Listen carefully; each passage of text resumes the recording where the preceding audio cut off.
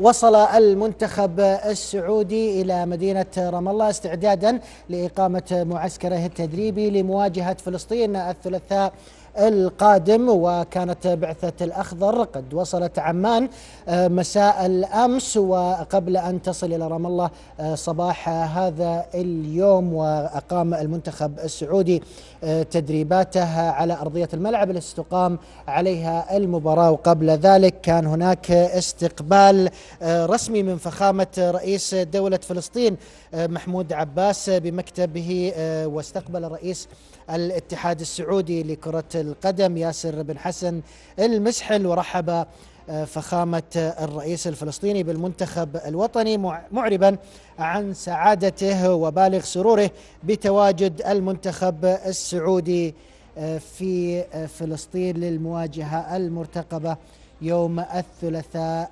القادم. فخامة الرئيس محمود عباس رئيس دولة فلسطين قال كلمة بهذه المناسبة.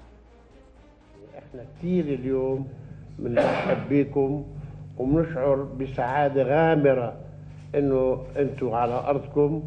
آه، صحيح هي القضية قضية كرة كرة قدم وهي كثير كويسة يعني. ومجيئكم آه، يسعد الشعب الفلسطيني وأظن شفتوا في التلفزيون وفي ال ال ال الناس قديش سعيدة بإنه تراكم في في فلسطين.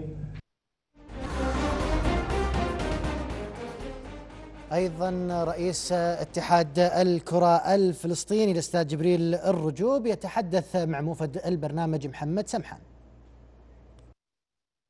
اليوم هم في فلسطين تشرفنا بهم وإحنا كلنا سعوديين وفلسطينيين راح نكون سعداء في اللقاء بعد غد في حدث غير مسبوق السعودية بتجسد وبتمارس حبها وتقديرها وانتمائها وغيرتها وحرصها ودعمها وتبنيها الغير محدود لفلسطين كقضية وطنية فلسطين كهوية.